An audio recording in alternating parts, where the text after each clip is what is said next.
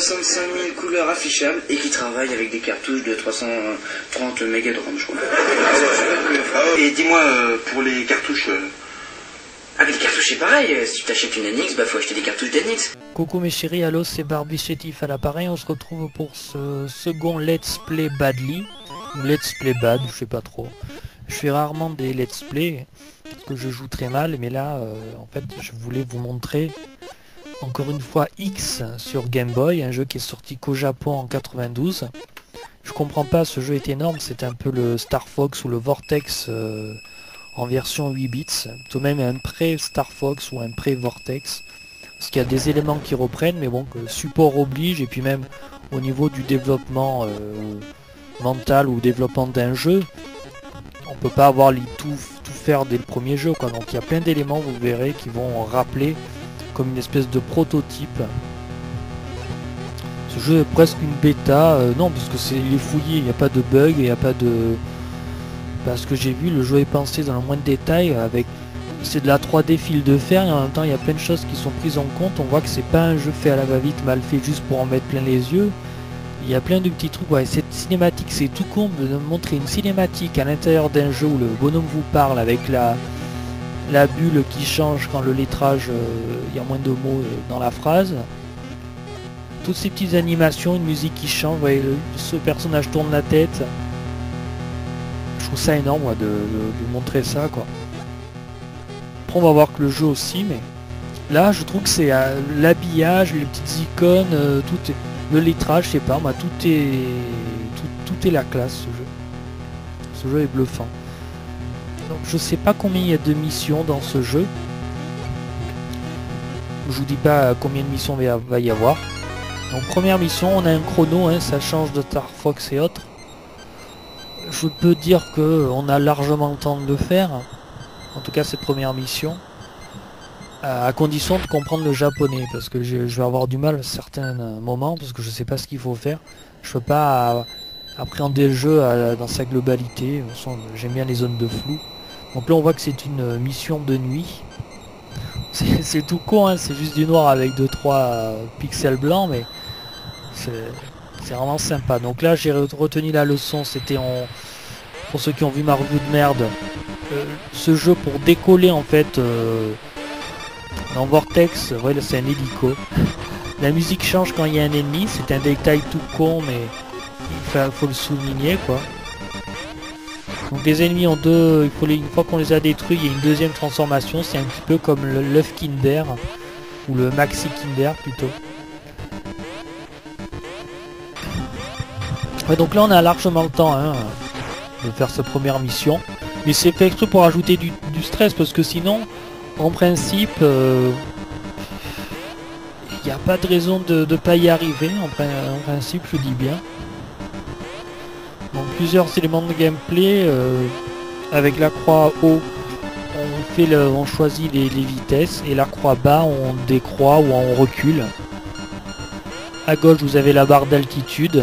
À droite, j'imagine que c'est la barre de vie, que je sais pas. Et là, les trucs qui clignotent, les barres euh, obliques qui clignotent euh, à l'horizontale, là, qui sont en oblique, et sur une bande horizontale, là, c'est quand pour vous, vous indiquer qu'il y a un ennemi, ou en cas, il y a quelque chose avec qui il faudra faire interaction. euh, genre là, c'est un radar.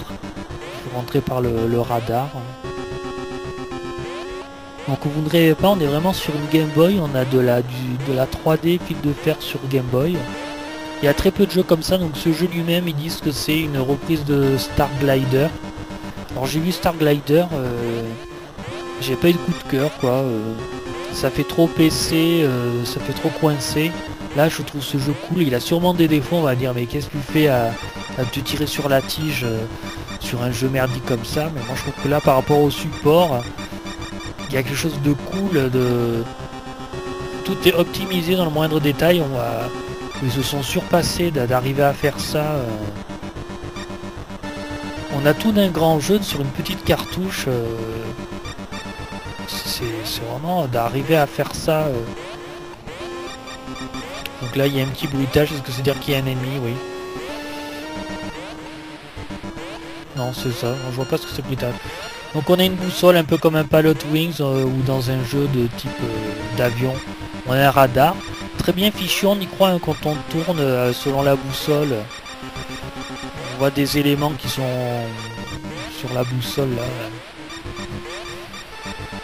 Sont représentés par des pixels blancs. Euh, Ça marche de toute façon un radar c'est avec un pixel donc ça marche tout à fait. On se dit pas ben non c'est mal fait, il y a juste un pixel. De toute façon c'est un radar c'est avec des pixels. On a une sensation de vitesse quand même, vous avez vu là j'ai frôlé le sol.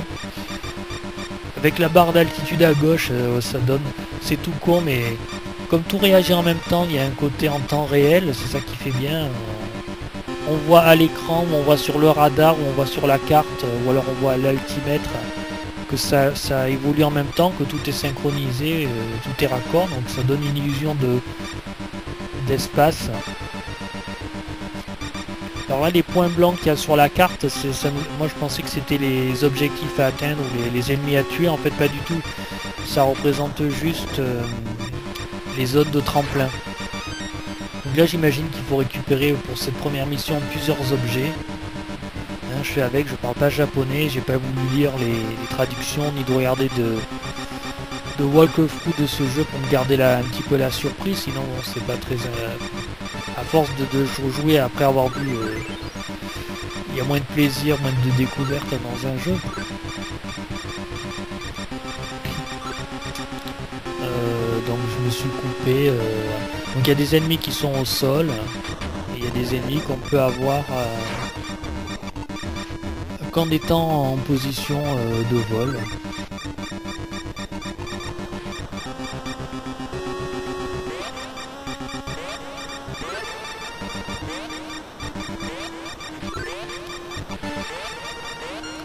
Il y a à détruire là. Ah, j'ai dû trouver, peut-être c'était ça l'objectif. Il y a un petit. Donc là c'est une araignée qui me fait penser au boss euh, du level 2 dans Star Wing. Je sais plus lequel c'était. Météore peut-être.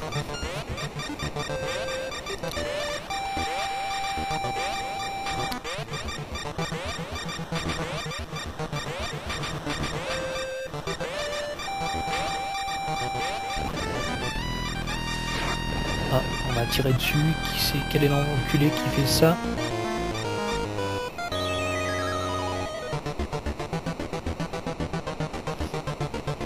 Peut bien tourner, euh, pas déraper, mais presque.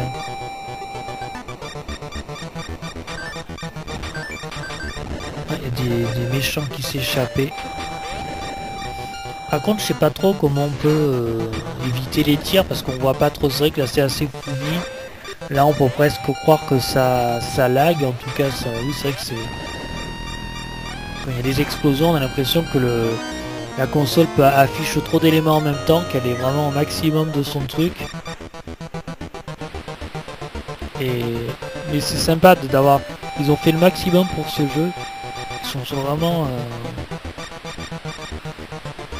Je sais pas si c'est pour se dire est-ce que après on va pouvoir le faire sur euh, sur Super NES. Parce que c'est bizarre, ils ont réussi à le faire sur Game Boy mais pas sur NES. Donc en fait il y a Argonaut Software qui a travaillé sur le jeu aussi. Et donc euh, comme ils ont aussi travaillé sur Star Wing, ça donne l'affiliation. En fait la jaquette euh, de ce jeu, assez mystérieux là, c'est en fait juste une explosion. En fait c'est quand on a détruit un ennemi, euh, il explose. La jaquette représente ça.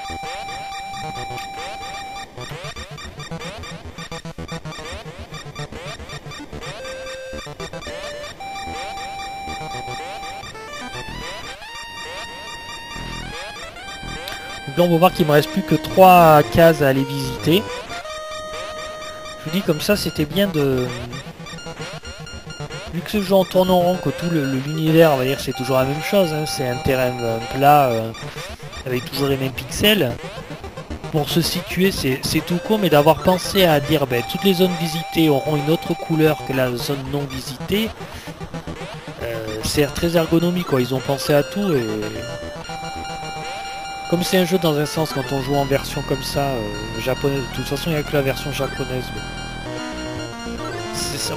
euh, ça, nous met des bâtons dans les roues, là ils ont quand même euh, pensé à nous faire un truc sympa. Donc là c'est un, ennemi qu'on peut pas détruire en étant au sol. Donc il faut trouver un tremplin. Et là encore le truc ergonomique. On nous indique les tremplins sur la carte. Et si ça suffisait pas, il y a toujours une flèche blanche au-dessus de la boussole, là qui bouge, qu'on voit maintenant à l'écran, qui elle m'indique, euh, en tout cas, euh, non là, elle m'indique en fait le radar. En principe, il indique la, chose au sol euh, qui peut m'aider. Parce que ça, ah ben non, je suis con, ça c'est le tunnel, ouais. Il y a plusieurs éléments, il y a les radars, il y a les tunnels, et il y a les d'autres trucs, c'est peut-être ça là, c'est... Il n'y a, que quand il y a la flèche qu'on peut rentrer. Quelqu'un me tire dessus. Et voilà, ça c'est tout con, mais... Ah voilà, en fait, je comprends maintenant. Il fallait récupérer cette espèce de noyau, et ce noyau, il fallait le déposer euh, dans, dans le, réacteur, je suppose. Donc mission réussie. Avec une petite animation, euh, peut-être qui transforme, voilà. Ah, j'avais pas vu, en fait sympa. Avec la vitesse, ça nous a... euh, c'est un peu comme la pulsation, rythme cardiaque du noyau. euh, Ça c'est tout con, avec petite musique sympa. Pour me voilà, remercier. Hop, je suis sorti du tunnel. Voilà, c'était un cristal. Donc maintenant on attaque la deuxième mission. Quand même 10 minutes pour une première mission. Ah, J'adore ça, c'est tout con, une petite animation là, hop. Il y a même dans Starwing, il n'y a pas d'animation euh, avant de nous lancer un, stage. Il y a juste le zoom avec good luck, avec le truc. Mais là voilà, ça eux ils ont réussi sur une 8 bits à nous faire une petite animation. Ça c'est tout con mais c'est énorme ça. Donc ça c'est l'objectif.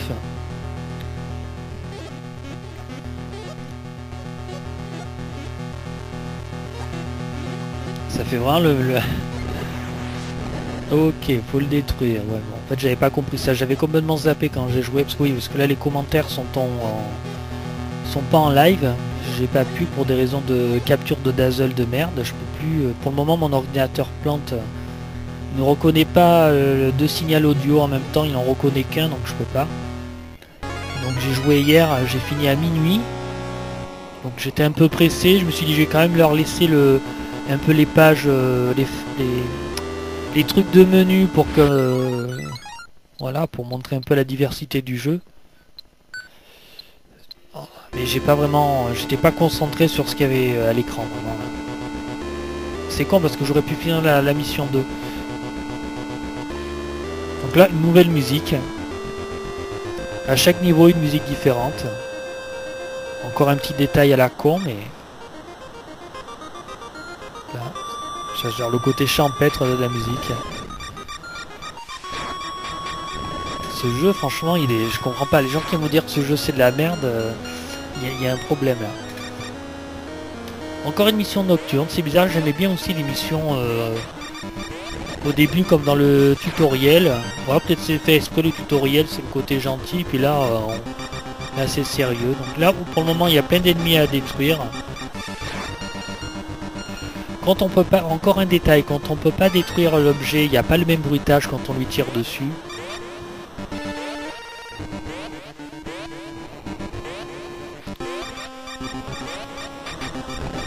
Plein de, choses comme ça à détruire. Pourquoi il s'est transformé En plus, le contenu, non le contenant est, non, est plus grand que le contenu. Non, voilà, c'est ça. Le contenu est plus grand que le contenant. Puisque là, quand j'ai détruit la première chose, après, euh, c'est bizarre. Ça, c'est le tremplin, on verra ça après. Ah, une tire dessus, ok. Les tirs ennemis, c'est des, des doubles bâtons, euh, des barres verticales. Voit la- une planète loin.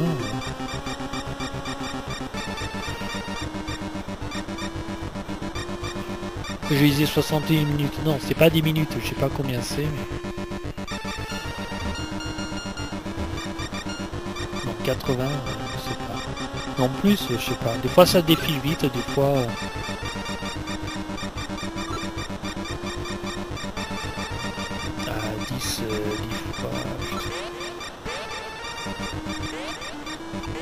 500 secondes, ouais non, j'arrive pas à compter là.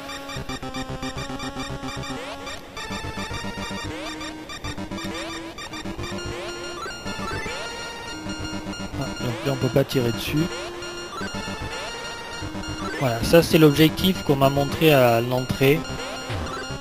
Euh, j'ai pas trop compris ce qu'il fallait faire. Bon. Donc là avec le jetpack, avec le bouton B, j'ai choisi le jetpack, je peux faire un bond.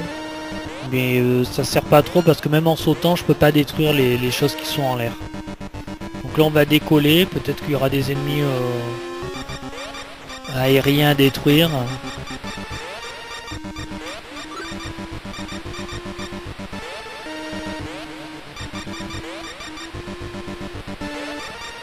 Ah, ben, c'est où quand on est en l'air ah, J'aimerais savoir ce que c'est ça.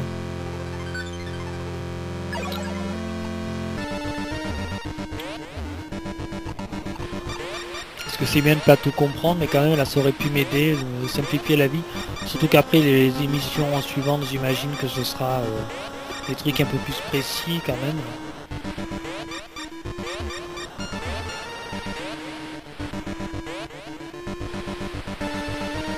c'est un jeu on peut pas faire euh, je vais pas me dire bah tiens aujourd'hui je vais jouer qu'à la mission 1 et puis après je me ferai la mission 2 c'est un jeu c'est presque un petit voyage une expérience c'est la qualité et le défaut euh, qualité c'est quoi là on est vraiment une immersion dans ce jeu mais le défaut c'est que voilà on peut pas se dire je vais jouer euh, allez 10 minutes 15 minutes à ce jeu pour progresser. Non parce que tu es obligé de te retaper le didactiel du début la mission 1 mission 2 la mission on va dire on va dire c'est 10 minutes euh, t'es obligé de te le taper c'est tout ou rien ce jeu t'es obligé de le taper dans la totalité bon un peu comme un Star Wing mais et broutage de pièces alors là c'est un jeu il faut euh, se préparer 2-3 euh, heures pour le faire à fond pour espérer en voir la fin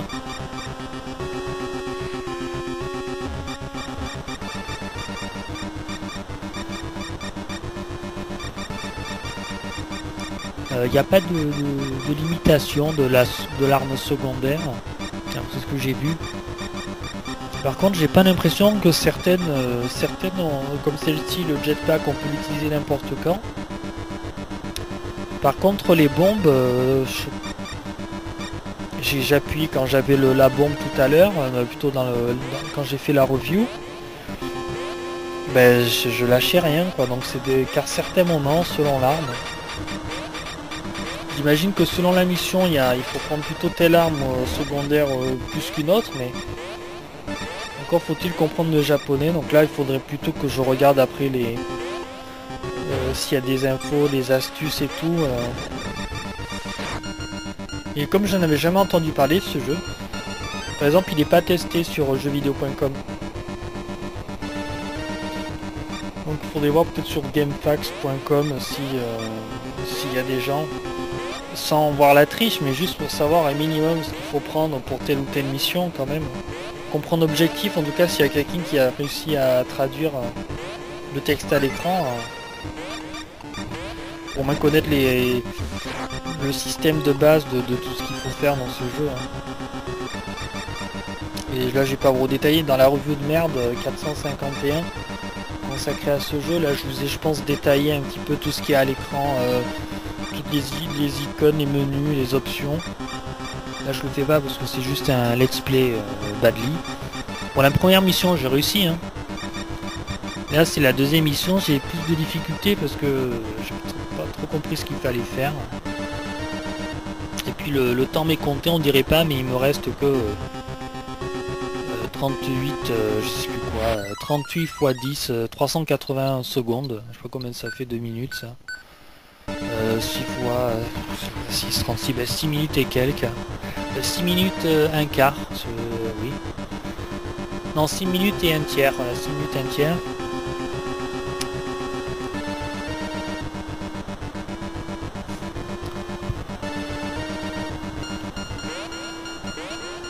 Donc là au niveau des icônes, euh, les flèches qui tournent vers la gauche, les flèches blanches sur toute la paroi en bas à droite, dans le coin en bas à droite, j'ai l'air d'avoir fait le carton plein.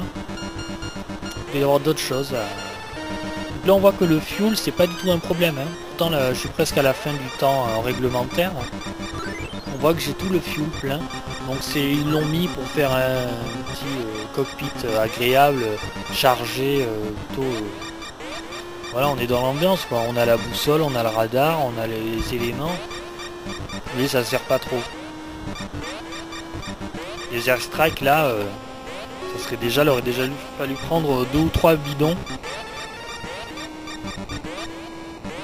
Mais ça serait trop mettre trop de trucs euh, chiants, après il n'y a plus de plaisir. Là il y a. Puis quand on appuie sur Select, euh, voilà, ça nous affiche quel est le numéro de la mission.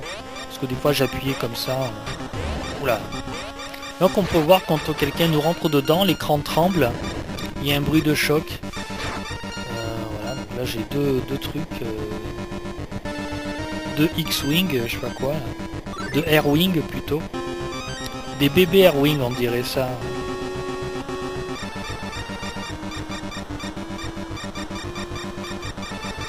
Donc c'est un jeu quand même apaisant parce que c'est un autre style graphique, ça m'énerverait de tourner en rond.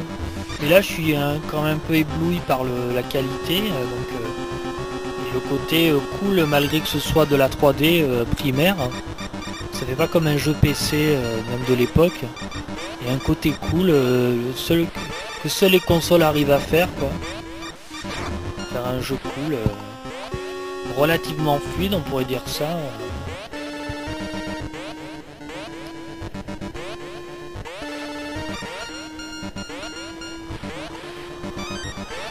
j'ai pas tout compris ce qu'il fallait faire là, j'ai vraiment pris le, plein de trucs. Il y a plein d'ennemis là pour le, pour le coup. Je me je vais foncer dedans, boum, non ça veut pas. Pas détruire. Pas trop compris.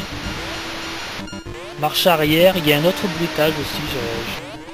Quand on recule on a un autre bruit. Bruit de glissade.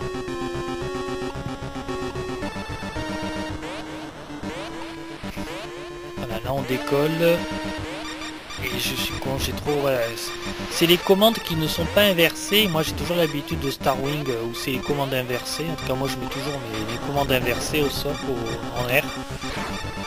Et ce qui fait que j'ai mis beaucoup de... Ça me gave quoi, de, à décoller. J'aimais les petites euh, ondulations euh, de fréquence quand on, a, quand on chope un objet.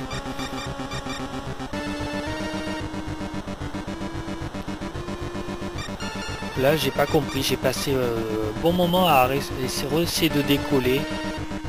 Ah oui, ça va, mais après, je, sais pas qu'est-ce que j'ai foutu. J'arrivais plus à décoller. Parce qu'on a une légère aspiration vers le bas. À un certain niveau, euh, quand on est euh, là, quand on est comme ça, ça va. Mais dès qu'on veut baisser un peu, à un moment donné, on est après, on est aspiré. C'est bien vu, ça. C'est pas tranquille. hein. Ça met une pression euh, supplémentaire.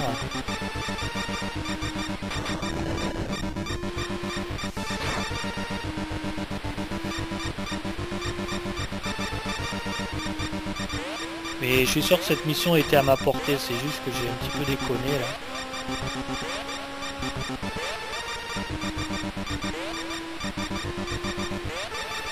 Bon après le petit truc c'est que vu que euh, on est sur l'écran on peut pas trop regarder. En tout cas moi j'ai des fois à un moment donné il fallait vraiment que je me concentre sur la boussole pour, euh, pour savoir où j'allais quoi. Vu qu'il n'y a pas trop grand chose à l'écran, on a pas de on a l'impression en fait de faire du surplace quoi. Donc j'ai toujours la tentation de, de me dire je vais tourner à droite, à gauche pour avoir un petit peu d'animation à l'écran. Et c'est à cause de ça qu'en fait je tourne en rond.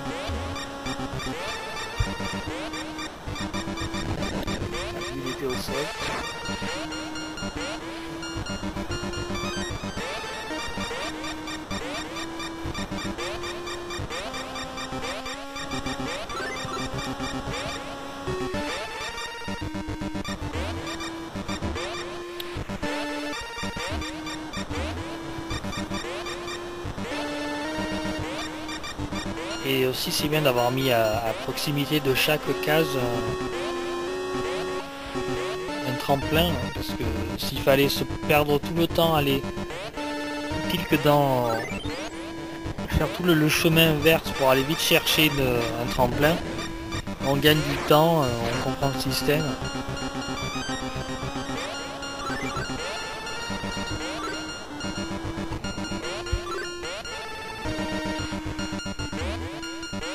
Pas ce que c'est. Et puis à un moment donné, vous allez voir que des chiffres euh, aussi vont apparaître au-dessus. Je sais pas si c'est parce que j'ai réussi ou euh, c'est à partir d'un certain nombre d'ennemis tués. Et ça va faire... euh, ça rajoute une dimension ça, parce que les- vous aurez les- le lettrage en 3D quoi. Quand on tourne, il va tourner avec. Et finalement, il y a plein de choses affichées quoi, de, sur cet écran. Là, je sentais la, tension, j'arrivais plus à décoller comme un idiot.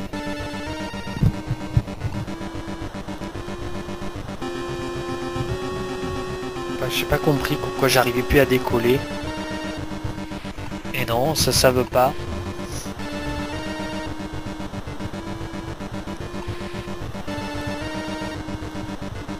Plus que 70 secondes et quelques.